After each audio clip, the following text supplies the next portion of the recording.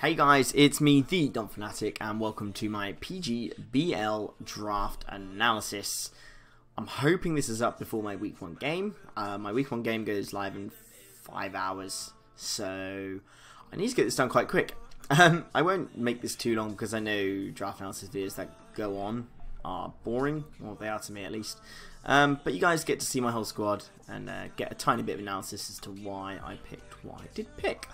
Um, so yeah, to give you some information about the draft, um, it's uh, 11 mons. You need 11 mons. It's a tier-based draft, so it was one tier one, one tier two, two tier threes, two tier fours, tier five, four free picks.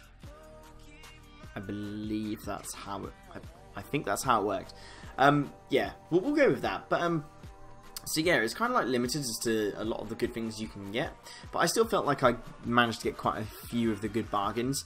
Um, because of the tier drafting system, some of the picks might seem like a bit of a weird order, um, but I'll explain to why I've picked what I have in this order. Um, so yeah, let's just not faff about. I was 7th in the draft order, I believe, so I was going to get a decent-ish first pick. Um, I think one of the two things that I wanted to use were left. I wanted Tapu Koko. I always want Tapu Koko, but that went literally first pick. Um, it's such a good one in draft format. Um, so I think at this point, when it came to me, there was still Zygarde 50% and Kyurem Black. But uh, my good friend Bub, King Bub, um, is also in this league and we're going to try and take it down together. Unfortunately, we have been put together as rivals. There's like this rival thing which is going on. Basically, it means you play each other twice, and it's really frustrating because Bub is the only person in this league I've ever played before, and uh, of course, Sod's Law means I have to play him twice. So annoying, but you never know. But yeah, we're going to try and take this on together. Uh, if he wins the league, I'll be happy. I'd be very happy with that. Obviously, we'll go for it ourselves, but. Um, yeah, me and Bub are kind of working together-ish on some draft ideas, so he wanted Zygarde, so I let him have Zygarde. Um, and I wanted to try Kyurem Black, because I have never used Kyurem Black before in my life. I could go horribly wrong. We'll see, I guess. Um, I don't think I really need to say too much about Kyurem Black. Like, people know what it does. It just murders things, and it's got Teravolt, which is effectively Mold Breaker, so abilities aren't saving anyone here. You know, Levitate is often a fantastic ability for stopping ground types, but Teravolt Earth Power, sure, why not? Uh, stab Ice Beam, obviously it does lack that strong physical uh, attack. I didn't make Kyurem Black one of my Z move users. I'll uh, tell you my Z move users as I go along. We got two. Um, I believe uh, it had to work out as like the combined was tier six. So if I took a tier one, Mon, which obviously Kyurem Black is, I'd have had to have made my tier 5 a Z user. So I worked out something else. I did something else with Z moves in the end. So I'm not going to go for like um, the Sub-Zero Slammer. But Ice Beam's still going to do loads because it's got 120 special attack. Like, its physical attack is higher than its special attack when it's fully invested. So you don't even need investment. If you want to go balls to the wall, don't need an ice type attack, then, you know, just max attack this thing with Fusion Bolt and Outrage, and there's not many switch-ins at all with 170 attack. Speed 95, so it's pretty good for a Scarfer. Um, obviously, it does get Roost as well, so you can run it bulky. I know Ice types aren't normally bulky, but then there is a Dragon type to make that up, kind of.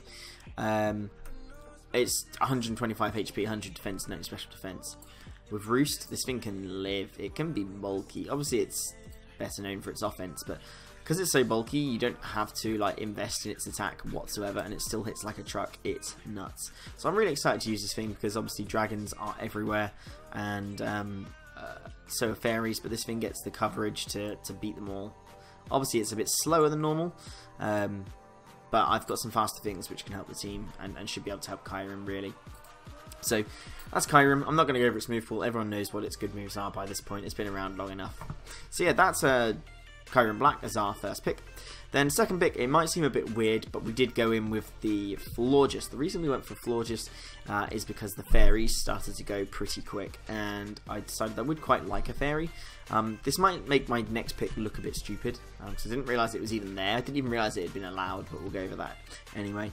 Um, so I went Florges because, one, it's a Wish Passer, it helps with Defog, obviously with Ultra Sun, Ultra Moon. It works pretty well with Kyurem, basically, um, other than Steel types, obviously, but we'll have things to deal with Steel types later on, do not worry.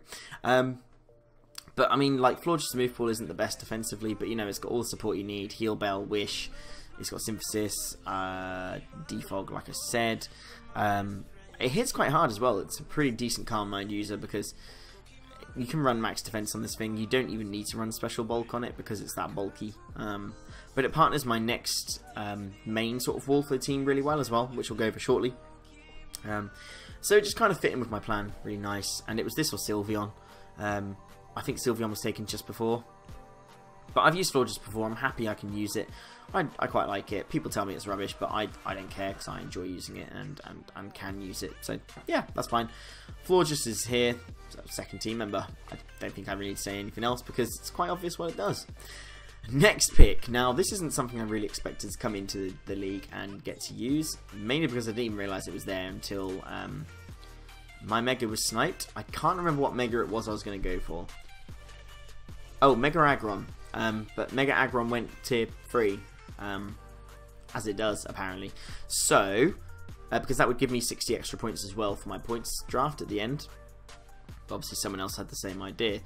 But then I was like, oh, hey, there's another steel type. Um, we, we drafted Mega Mawile. Like, that's nuts. We've got Kyurem Black and Mega Mawile on the same team. Um, there's, there's like, no switch-ins to this one. Like, in existence, because if it resists Fairy, chances are it dies to Iron Head. If it's Steel type, get Fire, Pun uh, Fire Fang. It's not going to kill, but it's going to do a hell of a lot of damage. It gets Knock Off, it gets Sucker Punch, it's got Stealth Rocks. So I've now got Stealth Rocks and Defog in here already. Um, like, yeah, it's not fast, but I do have mons in this team which can set up Trick Room. Um, so it can become a very scary, uh, just sort of wall breaker, a very scary sweeper in the Trick Room. Um, it's a good lead. I've, I've realised sort of in team building because I've played week one. i am going to be playing week two shortly. It tends to match up pretty well as a lead because it's typing, um, and it's bulk like 125 defense and 95 special defense. You don't have to invest in them um, to to have some decent bulk in this thing. Like because it's so slow, you don't normally run speed on it. You want to run HP, and it can take hits and then just kill something like if you come across it, I mean, lots of like really bulky walls are slow anyway. Thinking like your Toxapexes, um, your Tangrowths, things like that. They they can't switch into this thing. It sounds weird because it's a uh, Steel Fairy type, but Toxapex dies to like two Thunder Punches if I get a prediction, for example. Um, so this thing's really scary, and I'm really excited to use it. And I've got two extremely solid Trick Room users on my draft, um, which you will see um, hopefully at some point during the season. We've got 11, 11 games throughout the season, so there's a good chance Trick Room will come at some point. But yeah, I'm just incredibly excited to use this thing. It's like it's been banned from leagues for ages for a reason. Ultra Sun and Ultra Moon kind of, I say kind of made it more balanced. It didn't really. I still think it's borderline ban worthy, but I'm happy. I've got this in Kyurem Black. Like people are going to have an incredibly hard time switching into that attacking core already. And some of my other attackers later on aren't anywhere near as strong, but they're sort of a bit faster, so could be like late game sweepers type thing. So I've got incredibly strong offense in the first three uh, picks, which is really nice. This is why I said Florges might look a bit weird, because I didn't think about Mega Mawile at any point, but I now have two fairies. And actually, from the NESTL, uh, where I had Ribombee and Mega Altaria. Two fairies isn't actually that much of an issue if you have a good team around it. I'd sell a Steeler, so I covered its weaknesses pretty well, or their weaknesses pretty well. Um, but yeah, like, I, am just so... Like, I thought I was excited to try Kyurem Black. I was even more excited to try Mega Mawile. So, um, next up we have got the classic Porygon 2. Um, we've seen so far I've got two very good knockoff switch-ins in Florges and one of the best in Mega Mawile um, or even regular Mawile because it does get Intimidate. Um, so I have got knockoff switch-ins. That's probably the, like, the main thing about this. Again, toxic switch-ins as well. If you try and toxic this thing, I got a free switch into my Mega Mawile. Uh, Mawile, I can't speak. Um, but I mean, Por Porygon 2, everyone knows, is solid. You see it in VGC. It's king of VGC. It's very good in draft format. It's used in Smogon, I believe. I think it's UU, maybe. Like, the only thing this can do, or to do, right, really dies to, is like strong fighting types, and I have got ways of dealing with those later in the draft, and I have got the Florges at the moment. Yes, I know Florges isn't the most bulky defensively, but it takes hits pretty well because fairy typing is great. Um, we know what P2 does. It gets recover. Um, it gets all those annoying moves like Thunder Wave, Toxic. It's a normal type, so its move pool is incredible. Bolt Beam, Tri Attack, Shadow Ball, Psychic, um, and then its abilities. Like all three are extremely viable. Trace, if my opponent's got Pokemon which have incredible abilities, then Trace is an option. Download to give it a bit of attacking strength. Um, 3 plus 1 in physical attack or special attack. And this thing is obviously normally specially attacking, but you can run physical. 80 attack isn't anything to laugh at, especially when you get a stab return. Um, it's like 102 base power with no drawbacks whatsoever. Um, and I gen my own mons, so happiness isn't going to be an issue. Um, and then this is one of my two Trick Room setters, which you'll see the other one later on. Very good Trick Room setter itself because it can use it. It's not fast, but it's not slow. Um, but you can IV it, you know, to be super slow and then just, just damage things, um, especially with things like download. If you don't want to be, uh, if you don't want to run Trick Room, I forgot to mention the Fed ability, Analytic. Your opponent switches on this thing, like it's going to take an extra, like I think damage increased by 30%, which is a lot. That could be like an extra 10, 15% of damage. Um, and with hazards, that, that could be the difference between getting it in KO range or actually just flat out KOing it. KOing it. P2 is just incredible. I've I've used it in a league once, and that was a long. Time. I think that was at the start of Sun and Moon. So I'm really looking forward to actually using this thing in conjunction with the other ones I've got so far and what I've got coming up. Um, the reason why I took P2 tier uh, round four uh, is actually because it's a tier three mon. Which, while talking to Bub, we were both like, "That's incredibly cheap for Porygon 2." Um, so I took it quickly because it works with Florges well, and while there's a lot of things in tier three. Um, I wanted the bulk so I could just focus on the offense because I think lower tier offense can do well better than lower tier bulk. That's my personal opinion. Um, anyway, uh, round 5 pick. I don't know how this thing lasts until round 5 because I've used it in one league myself and I think I got like 9 kills in the first 3 weeks with it. Um, it doesn't, you know, on paper it doesn't look the strongest, but then when it comes to game time, you're like, yo, this thing just kills this whole team. And that is, of course, Greninja.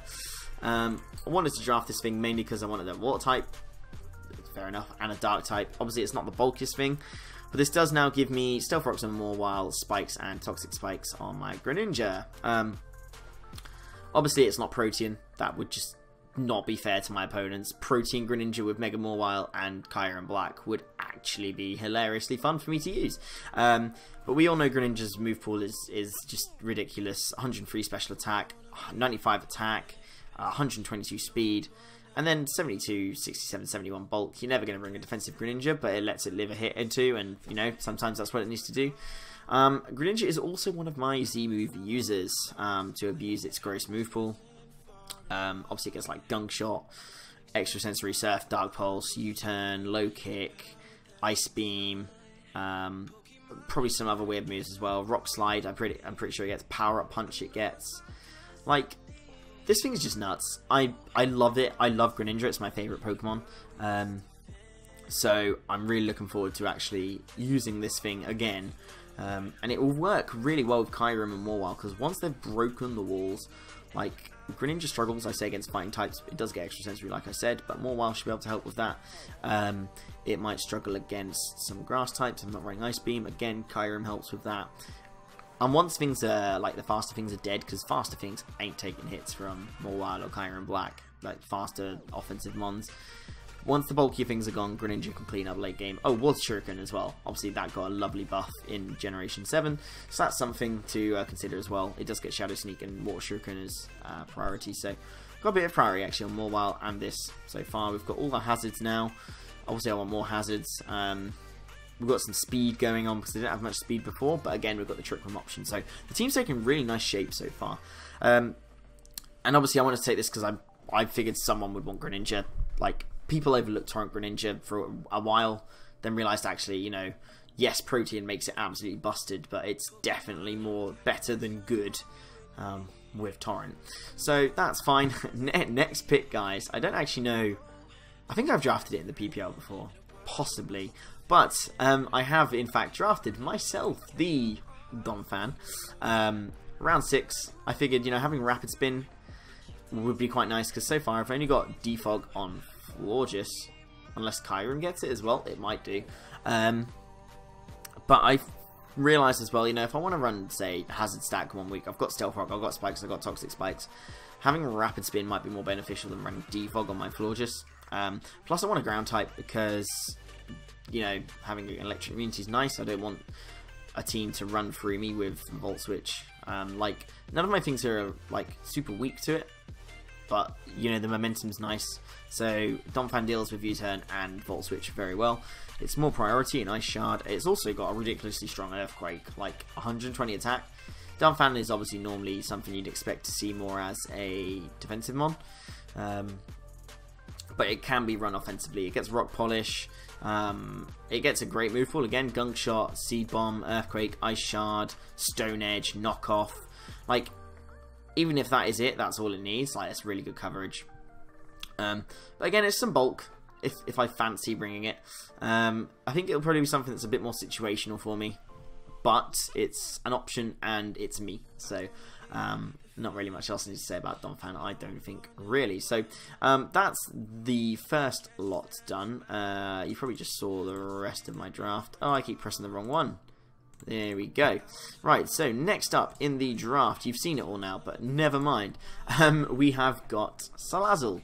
Now, Salazzle's an interesting one. Um, I know I've got Gunk Shot on like two of my mons so far, but an actual poison type will be quite nice. I know I have Mawile to deal with fairy types, but um, Kyurem is weak to fairy and steel. Salazzle beats fairy and steel very nicely. Um, and its ability in corrosion, I think, is going to be a dark horse. It's going to be incredibly useful. I think people will forget about it. Um, especially in, I look at some teams and I'm like, you know what? Salazzle is the freest toxic in the whole game. Like, it poisons steel types, it poisons uh, poison types, and because it's a poison type, toxic can't miss. Um, Flamethrower and Sludge Wave. Obviously, its move pool isn't that great otherwise, but it does get some really interesting moves. It gets Dragon Pulse, Dragon Tail, um, Fake Out, Encore, Fast Taunt, which is something else Greninja as well. So I've got two Fast Taunt users. Um, I think it gets Toxic Spikes, maybe. Let's just double check. If not, it doesn't matter because I have Greninja. Uh, it doesn't, but um, again, it's a grounded poison type, so that gets rid of toxic spikes for me, which can be uh, uh annoying to my team, that's for sure. Um, I mean, it's got, it's got loads of weird physical moves as well. Foul play is quite interesting to run on it because its attack stat is incredibly low. Um, it's obviously not the bulkiest, but again, it's a bit of speed. It's a nice speed tier, um, as it outspeeds those 115s and 110s. Greninja will be 122, so outspeeds 120s and 115s as well. Um, I need a bit of speed on my team, I think, anyway. Uh, and while this thing on paper might not look the strongest, it does also get nasty plot. Um, so if I get to plus 2 with a Life Orb on this thing, and you haven't got a Fire Switch in, it could pretty much be GG, because the speed of this thing as well is incredibly nice. Um, it does get flame. I'm just looking at the other moves now. Flame charge to increase its speed if you really want to do that. Disable because apparently, why not? Um, knockoff as well. Actually, uh, is is a nice utility move to have in this thing. I know I've got knockoff users in um or yeah in Donphan and in Mawile, um, but knockoff doesn't have to be used as an offensive move. It can be used as a utility move. Um, so knocking off things with Salazzle is going to be really easy, I think, actually, because people won't expect it. Um, so yeah, that's really nice. We've got uh, Salazzle. That's something I've wanted to use for a while.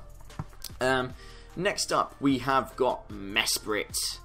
I'm so glad this thing didn't get sniped from me because I couldn't afford Uxie. I want to say Uxie was a tier above Mesprit. Um, and there wasn't really any other bulky psychics that I would really want. Um, outside of this, looking at what was left for me, because I've got to say, Donphan and Salazzle were also tier 3, I believe. Um, so I was looking at my lower picks now.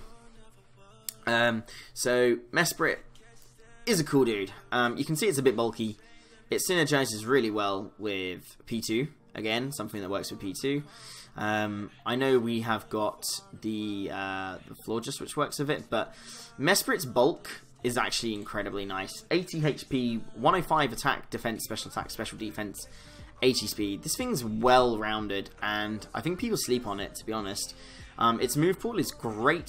It gets U-turn, which was really nice because it now works uh, alongside my Greninja for U-turn because I don't have much of a core at the moment. Um, obviously it gets rocks, it's another rock user, which was another big thing I wanted, because um, I didn't want to have to rely on Mawile using it all the time. I feel like Mawile's move slot could be used a bit better. Um, it does get Ice Beam, Thunderbolt, so Bolt Beam, again, along with P2. Bolt Beam is so precious in League. Um, obviously Psychic moves. Um, this thing can hit hard enough itself. It, its move pool is pretty much that of a normal type. Um, and it's so flexible. You can run Choice Scarf, you can run Trick Room.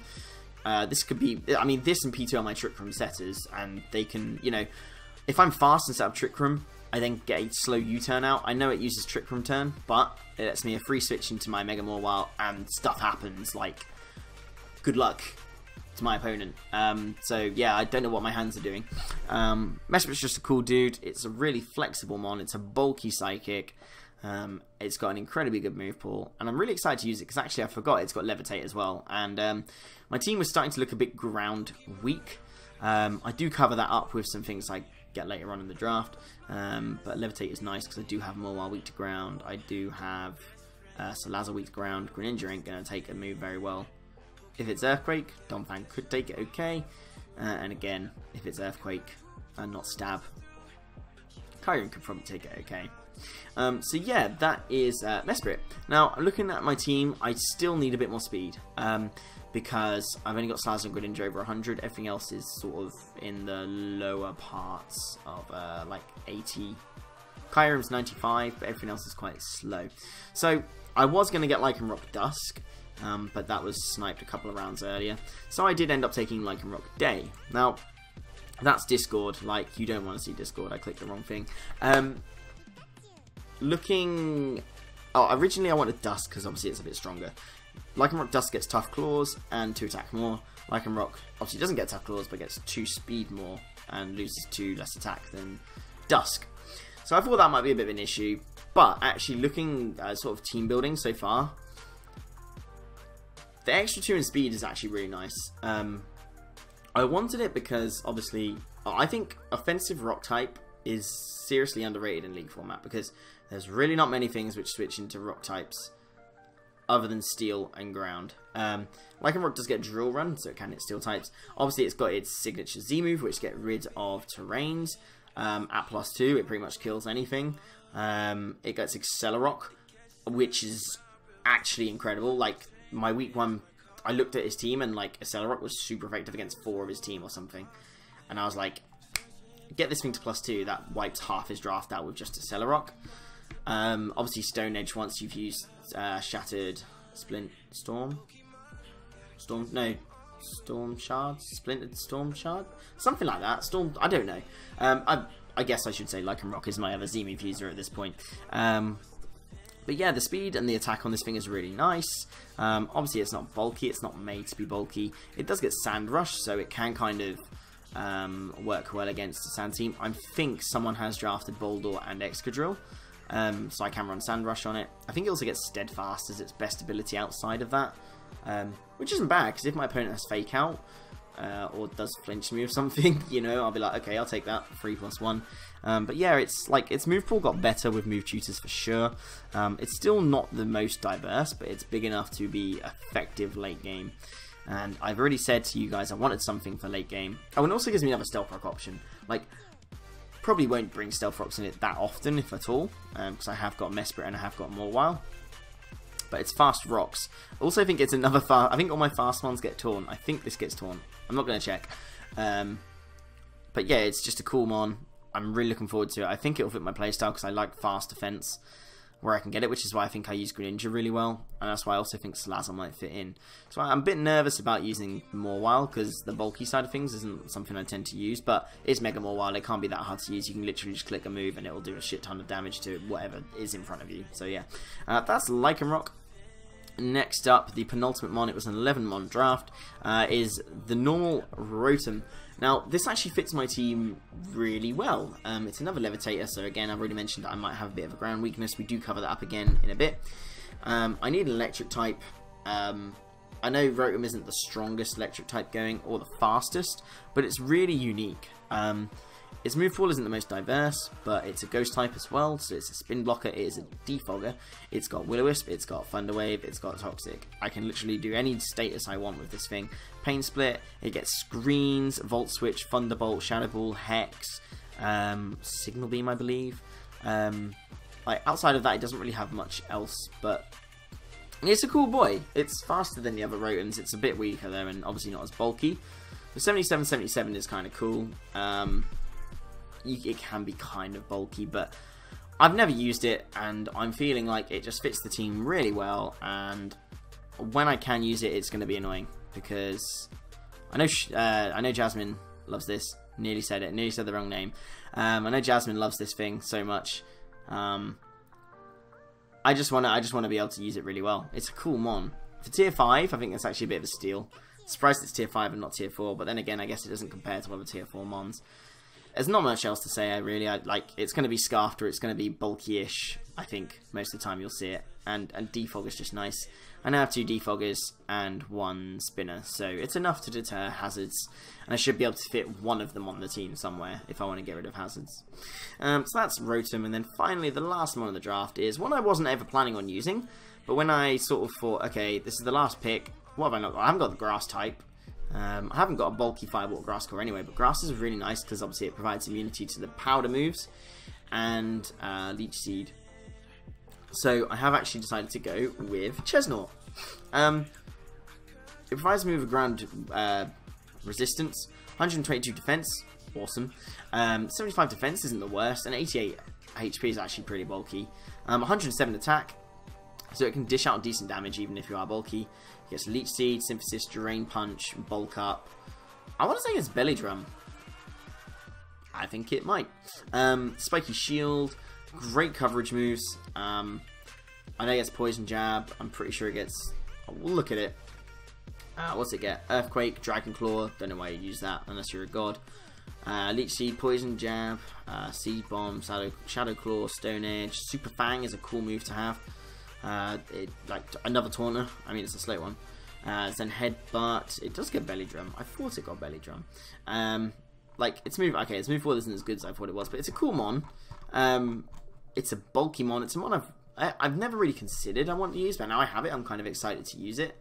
Um, and I think it works with my team pretty damn well. Um, so I know it wasn't like the most in-depth draft analysis ever, guys, um, but I didn't really want to make it too long, uh, too in-depth, too labouring for you to watch. I mean, it's probably quite labouring listening to me anyway, ramble on for half an hour, but that was the team for Norwich City for this season.